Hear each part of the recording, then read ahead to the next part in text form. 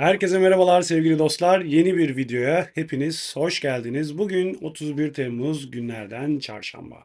Bugün günlerden FED diyebiliriz sevgili dostlar kısaca.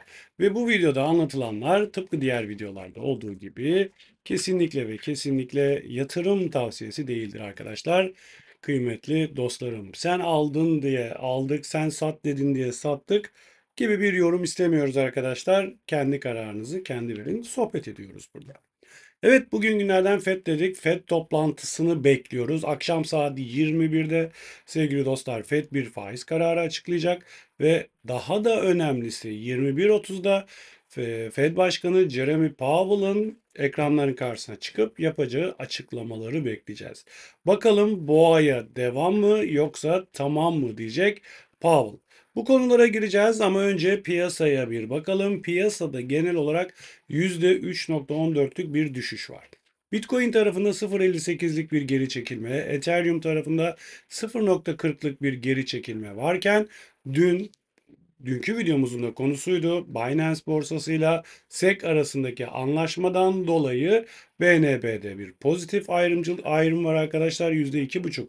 Artı da Yine aynı şekilde ismi geçen Binance SEC arasındaki anlaşmada ismi geçen coinlerin en başında Solana geldiğinden dolayı Solana'da yine bir pozitif ayrışma var. Ve Ripple cephesi Ripple %7.71 gitti. Hani komşuda pişer bize de düşer. Ee, SEC'in BNB ile yapmış olduğu anlaşmanın maddelerine, detaylarına baktığımız zaman SEG'in BNB'yi suçladığı maddelerin aynısının birebir Ripple'ı da suçladığı ortaya çıkıyor ve dolayısıyla piyasada Ripple'da mı acaba SEG'le anlaşıyor diye bir iddia ortaya çıktı ve Ripple'da zaten bir al sinyali vermiştik. Bunun güçlenerek devam ettiğini görüyoruz. Ripple tutmaya devam arkadaşlar. Ripple cephesinde bir problem şu an için görünmüyor. Ha, açık bir şey de görünmüyor. Yani BNB ile anlaştı. BNB suçlarını, BNB'ye yapmış olduğu suçların aynısını Ripple'a da suçlamıştı. E BNB masumsa, Binance masumsa o zaman Ripple da masumdur e, gibi piyasada bir algı oluşmasından dolayı Ripple güçlenerek yükseliyor arkadaşlar. Dogecoin'de %2.47'lik bir geri çekilme, Toncoin'de %2.58 bir pozitif durum var. Cardano dün bıraktığımız yerde nötrde kalmış ve Tron %3, AVAX %3 geri çekilmiş durumdalar. Günün şampiyonlarına baktığımızda Ripple'ı en tepede görüyoruz. İkinci sırada Kas'ı görüyoruz. Mokcoin'i görüyoruz. E Ripple gider de XLM gidemez mi arkadaşlar? Ezeli, dost, ebedi, düşman ya da tam tersi her neyse kardeş coinler diyelim XLM'le. O da yine e, Ripple'la beraber gidiyor. Aa ve arkadaşlar iyi gidiyor, güzel gidiyor. Toncoin, Maker, BNB, BIM ve CFX'i görüyoruz. Bunlar en çok yükselen. En çok düşen Bitcoin SV ki dünün hatta önceki günün en çok yükseleniydi BSV. Bugün en çok düşen olmuş. Tam tersi. Gene Jasmine en çok yükselenlerdeydi. Haftanın en çok yükselenlerindeydi. O da günün en çok düşeni olmuş. En çok düşenlerinden biri olmuş. Teta'yı, Ena'yı, Akashi'yi, Sei'yi görüyoruz. Sei deyince aklıma geldi sevgili dostlar. Sei'de değil de Sui'de bakın yarın yarın e, ayın birinde e, Sui sevgili dostlar notlarıma hemen bakıyorum. Zeta ve DYDX arkadaşlar. Bu 3 coin'de Sui, Zeta, DYDX. Yaklaşık 86 milyon dolarlık bir token e, kilit açılımı var. Elinde Sui, Zeta ve DYDX olanlar yarın e, bir panikle satış yapmasınlar arkadaşlar. Bir geri çekilme gelebilir, bir e, negatif ayrışma gelebilir. Canınız sıkılabilir ama bu geçici bir durumdur. E, pek de kafaya takmayın. Göstergelere baktığımızda Bitcoin tarafında sevgili dostlar momentumun sat verdiğini, MACD'nin ve boğa ayı gücünün al verdiğini görüyoruz. Boğaya devam diyor MACD ve boğa ayı gücü Bitcoin tarafında. Hareketli ortalamalara baktığımızda ise hacim ağırlıklı ortalama 65.340'tan geçiyor. Yani 65.340'ın üzerinde kaldığımız müddetçe fiyat 66.224. 65.340'ın üzerinde kaldığı müddetçe korkmaya endişeye gerek yok. sat malını çık demeye gerek yok. 65-340'ın üzerinde kaldığı müddetçe.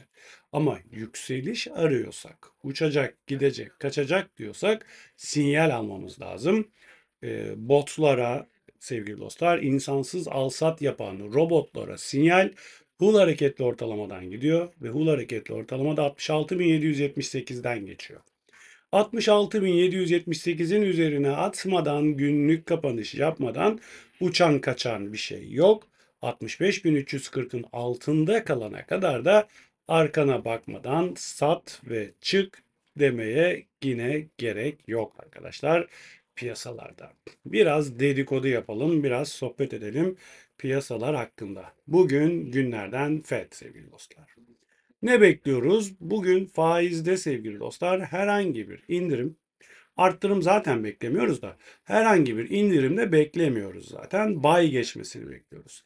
Belki bir sürpriz gelir mi? Gelir. Yani belli olmaz. Piyasa bu. Şöyle baktığımızda %3 oranında belki bir faiz indirimi gelir. %3.1. Hadi 3 desek bu tarafa da 97 demiş oluyoruz. 97 3'ten büyüktür arkadaşlar. Dolayısıyla bir faiz indirimi beklemiyor piyasalar. Ama ne bekliyoruz arkadaşlar? Piyasaların beklediği, benim ne bekliyorum, beklediğim daha doğrusu. Yayında 21.30'da Powell'ın çıkıp bir sonraki toplantıda sevgili dostlar faiz indirimi yapacağız şeklinde bir haber vermesi. Onu da şu hemen bakalım. Bir sonraki toplantı 18 Eylül'de %80, %90 hatta yani %89.4. %90 oranında piyasa faiz indirimi bekliyor. Bu faiz indiriminin gelebileceğine dair e, Powell'ın ağzından böyle mini mini sinyaller arayacağız bu akşam. Powell çıkacak, konuşacak, konuşacak, konuşacak. Habire laf geverecek. Avukat kendisi konuşmayı sever. Avukatlar iyi konuşurlar arkadaşlar. Habire konuşacaklar, konuşacaklar. Peşinden gazeteciler çıkacak. Gazeteciler sürekli soracaklar, sürekli soracaklar. Amaç bir sonraki toplantıda şu yüzde doksanlık beklenti diye dair ipucu. Eğer olumlu bir ipucu verirse evet olabilir, düşünebiliriz masada var gibi bir herhangi bir ima bile piyasayı uçurur arkadaşlar. %89 oranında piyasanın beklentisi bu yönde. Powell'ın konuşmasını pür dikkat dinleyeceğiz saat 21.30'da. Bu ay için bir şey bek bugün için bir şey beklemiyoruz. Önümüzdeki ay Ağustos'ta toplantı yok. Eylül için bir sinyal arıyoruz. Başka Sevgili dostlar, evet Trump bildiğiniz üzere kripto para konferansında bir konuşma yaptı ve bu büyük bir coşkuya neden oldu kripto ekosisteminde. Bu coşkunun yavaş yavaş azaldığını görüyoruz sevgili dostlar. Dün Bitcoin ETF'lerinde, spot Bitcoin ETF'lerinde o konuşmadan sonra ilk defa bir çıkış oldu. 18 milyon dolarlık Bitcoin ETF'lerinden bir çıkış yaşandı o günden sonra. Yani gene eskiye döndük. Eski tas eski hamam. Ethereum tarafında ise şöyle bir baktığımızda ise yaklaşık spot Ethereum tarafında da 100 milyon dolarlık bir çıkış oldu. Yani hem Bitcoin ETF'lerinde hem Ethereum ETF'lerinde şu an için e, çıkışlar girişlere göre daha fazla dün için konuşuyoruz arkadaşlar.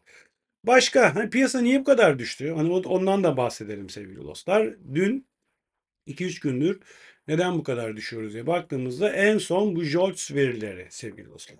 Amerika Birleşik Devletleri'ndeki açık pozisyon verileri, işsizlik, iş arayanların verileri. Patronlar bakıyorlar sarı sitelere ne kadar patron ilan vermiş, eleman aranıyor şeklinde ki verilere baktığımızda Amerika'da şu an e, patronların eleman aradığını, e, yana yana yana yana kalifiye işçi aradıklarını görüyoruz arkadaşlar.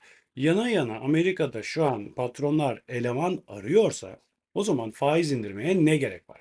Şimdi Powell'ın da bugün akşamki yapacağı açıklamalardan bu JOLTS verilerine baktığımızda hani verilere bakarak konuşuyor ya Powell sevgili dostlar. Verilerin iyi olduğunu, faiz indirimine gerek olmadığı yönünde mi acaba bir açıklama yapacak beklentisiyle piyasalarda bir düşüş yaşadık. Ancak İmdadımıza biri yetişti sevgili dostlar. Şu an dünden beri, sabahtan beri Bitcoin'de ufak bir dönüş var. İmdadımıza sevgili dostlar Nick Timireos isimli bir e, gazeteci diyelim bir gazeteci yetişti arkadaşlar. Bu gazeteci kim? Nasıl bizde var ya Amerika e, yandaş gazeteciler var ya hükümetin söylemek istediklerini alttan alttan böyle insanlara söylüyor ya. Amerika'da da var arkadaşlar yandaş gazeteciler. Bu bir yandaş gazeteci. Amerikalı Nick Timiraos.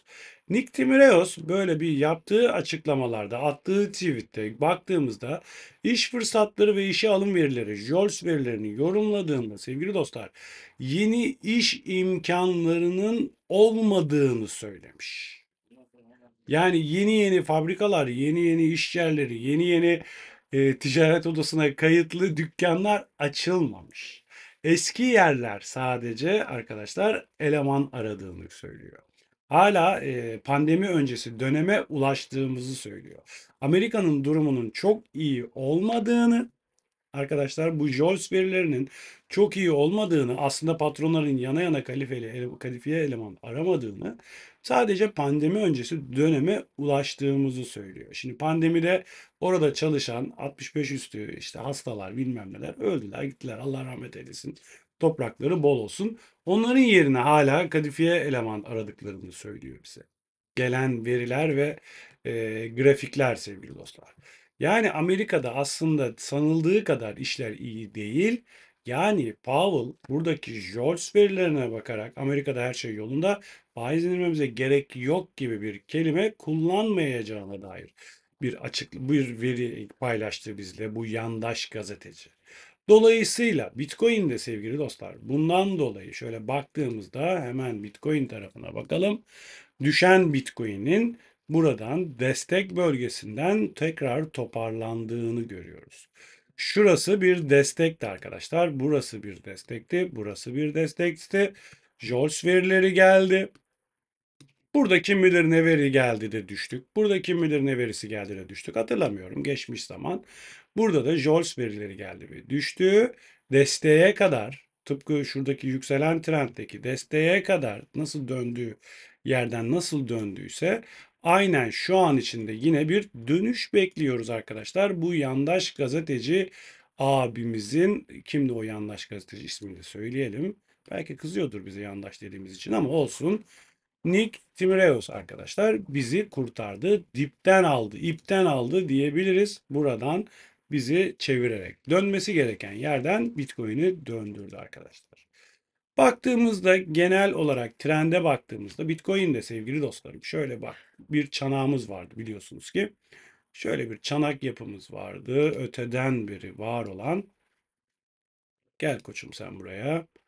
Şöyle bir çanağımız vardı, fincanımız ve bu fincana da bir de kulp arıyorduk biz. Bu fincanımızın kulbu için sevgili dostlarım bir aşağı doğru trend oluşturdu. Bu trendde bize hep alttan al, alttan al, alttan al, alttan al sinyali verirken üstten sat sinyali, üstten sat sinyali bakalım ne olacak? Üstten sat mı yapacağız sevgili dostlar? Yoksa ala devam mı edeceğiz? Bunu anlamamız için kıymetli dostlarım daha önceki videolarda da defalarca söyledim. Üstten satabilmemiz için satış onayının gelebilmesi için 64.600'lerin altında bir kapanış görmemiz gerekiyor. 64.600'ün altında bir kapanış görürsek bu gece yarın gece boğamız ne yazık ki e, sata döndü diyebiliriz. Boğamızın boynuzu kırıldı diyebiliriz. Ama 64.600'ün üzerinde kaldığımız müddetçe durmak yok, yola devam. İlk hedef 73.000, 80.000, 83.000, 100.000 ve tepede de kıymetli dostlar 118'ler, 128'ler var. Umarım anlaşılmıştır. Anlaşılmayan bir durum yoktur. Kaç burası? 64.600, 64.700 düz hesap. 64.100'ün üzerinde kaldığımız müddetçe hiçbir sorun yok. Boğa devam ediyor ana yön yukarı. Hiçbir sorun yok. 64.600'ün altında bir kapanış bizi 56.000'lere kadar hatta daha aşağı 52.000'lere kadar indirir. Şu kanalın hani alttan al üstten sat muhabbeti vardı ya. buradan bizi ta buralara kadar indirebilir kıymetli dostlarım. Şu an için korku, endişe, paniğe gerek yok. 64.700'ün altında panik yapabiliriz. Bir de MTGAX cephesinden bir haber geldi sevgili dostlar. Dün akşam MTGAX'ta yaklaşık 3 milyar dolarlık arkadaşlar. 3 milyar dolarlık bir transfer yaptılar. Önceden 3 milyar dolarlık MTGAX transfer yaptığında yer yerinden oynuyordu. Şimdi 3 milyar dolarlık gene bir transfer oldu akşam. Piyasa hiç tepki vermedi. Hiç umursamadı piyasa MTGAX'ın. Çünkü daha önceki MTGAX transferlerinde panik satışları geliyordu insanlardan. İnsanlar panik satış yapıyordu. MTGAX cüzdanlarına baktığımız zaman MTGAX'tan Bitcoin'lerini alanlara baktığımız zaman satış yapmadıklarını gördük. Adamlar biliyorlar zaten bu işi. 10 sene önce girmişler piyasaya. Artık bu işe yıllarını vermişler piyasaya. Ve bu seviyeden Bitcoin satılmayacağını bildikleri için e, MTGAX'dan gelen kurtarılmış Bitcoin'lerini ve Bitcoin cash'lerini satmadıkları görüldü. Piyasada onlar Aa, şimdi satacaklar deyip satanların daha yüksekten geri almak zorunda kaldıklarından dolayı MTGAX e, artık yavaş yavaş gündemimizden hani food gündemimizden kötü kara gündemimizden çıkmış oldu. MTGAX mağdurlarına e, gerçek sahiplerine Bitcoin'lerini gönderiyor ve o gerçek sahipleri de Bitcoin'lerini hodl ediyorlar, tutmaya devam ediyorlar. MTGAX e, artık gündemimizde yok. MTGAX şu kadar transfer yaptı. MTGAX şöyle yaptı, böyle yaptı dediğinde piyasa artık tepki vermiyor ki 3 milyar dolardan bahsediyoruz. Almanya hükümeti 3 milyar dolar Bitcoin sattığında anamız ağlamıştı. Dün akşam MTGAX 3 milyar dolar transfer ediyor. Kimsenin umurunda değil. Çünkü nasıl olsa hodl edecekler diyorlar. Evet canlar hatırlatmamızı da yapalım. Gruba bekliyoruz sevgili dostlar. Yapmanız gereken arkadaşlar bu soru çok soruluyor. Hocam ben şu borsayı kullanıyorum gelebilir miyim? Hocam ben şunu kullanıyorum gelebilir miyim? Gibi gibi gibi gibi sürekli böyle açıklamalar geliyor sevgili dostlar. Kıymetli dostlarım şey belli. Madde belli. Açık net. Borsa yeni bir hesap açıyorsunuz. Bu yeni hesap Gateo borsası. Şu an öneriyorum ben Gateo'yu. Neden? Çünkü Türkiye'de onaylı lisanslı şubesi var, her şeyi var. Binance borsası öneriyoruz. Türkiye'de şubesi var, şusu var, busu var, her şeyi var. Binance borsası ya da Gateo borsasına yeni üyelik açarak portföyünüzü o yeni borsaya aktararak işlemlerinizi aktardığınızda gruba gelebilirsiniz. Bana Twitter özelden yazın. Geçtim hocam diyeyim ben de sizi alayım.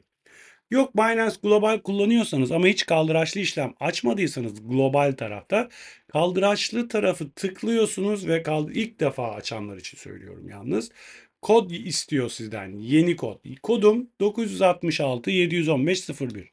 Bu kodu yapıştırarak da ardından 1-2 dolarlık bir kaldıraçlı işlem açarak da sistem maksat sizi tanısın.